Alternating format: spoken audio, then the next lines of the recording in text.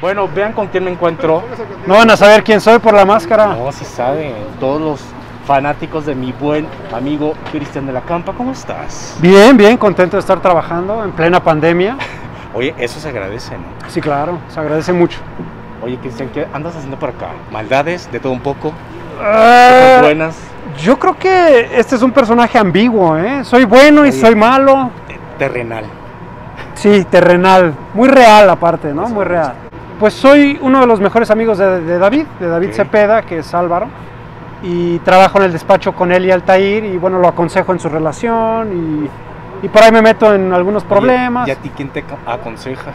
A mí nadie, nadie. O sea, tú, la experiencia de vida te ha dado pie a que aconsejes a los demás. me ha hecho ser buena oreja. Quiero, pe- quiero pensar eso. Sí, Y que funcionan. Exactamente. Oye, ¿y ¿cuál ha sido el reto, actualmente hablando? Eh, aguantar a David Cepeda, cabrón. No, no, no es cierto, es tipazo, Es tipazo, sí, es tipazazo, me cae muy bien. La verdad es que todos los del elenco eh, nos llevamos muy bien, ¿no? Hay muy buena química. Pero reto actoral, fíjate que justo se me vienen algunas escenas con un tema muy fuerte que no puedo revelar qué es, pero me pega cercano. Entonces, lidiar con eso dentro de la ficción, en algo con lo que batallas en la vida real, pues es, es fuerte, ¿no? Porque te toca fibras ya como persona, eh, no nada más como actor.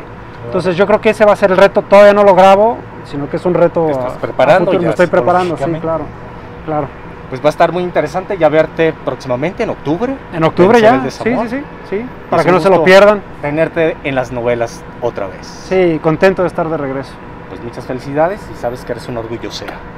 Sí, sí, sí. Con un mundo en contra, cuatro mujeres descubrirán que juntas podrán vencer el desamor. No está sola. Muy pronto,